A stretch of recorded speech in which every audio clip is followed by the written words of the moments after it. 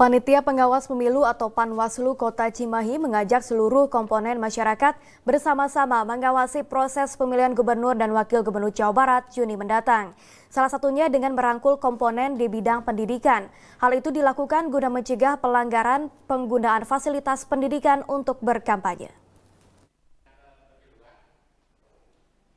Untuk mencegah pelanggaran penggunaan fasilitas pendidikan saat berkampanye di Pikal Jabar yang tengah berlangsung, Panwaslu Kota Cimahi mengundang puluhan tenaga pengajar yang terdiri dari guru dan dosen sekota Cimahi untuk mengikuti sosialisasi pojok pengawasan partisipatif.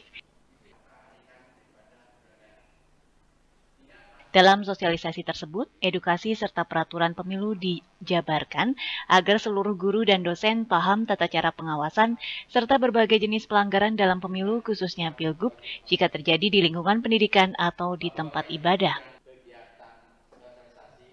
Koordinator Divisi Hukum dan Penindakan Pelanggaran Bawaslu Provinsi Jawa Barat, Yusuf Kurnia menyatakan, jika tim sukses ataupun simpatisan dalam berkampanye di lingkungan pendidikan maupun tempat ibadah, guru dan dosen harus ikut andil dalam pengawasan.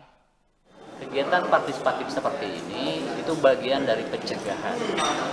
Kami ingin menyampaikan, mengingatkan kembali kepada para guru, para dosen, gitu, supaya bisa mengawal jangan sampai gitu ya sarana pendidikan tempat ibadah itu nanti digunakan untuk kampanye oleh para kandidat oleh tim kampanye simpatisan lawan.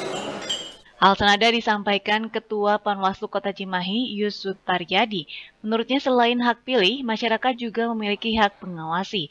Panwaslu pun memberi ruang kepada para tenaga pengajar untuk ikut mengawasi pemilu. Nah, masyarakat, baik itu seluruh elemen, Komnas juga punya kewenangan untuk merangkul elemen tujuan sana. Sehingga kita mengadakan sosialisasi. Artinya apa?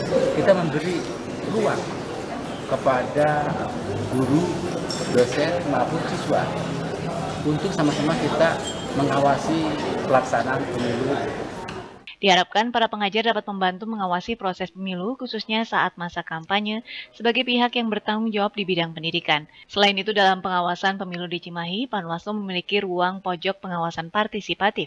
Ruang itu bisa dijadikan sebagai sarana informasi dan pendidikan politik bagi masyarakat. Algi Muhammad Gifari, Bandung TV.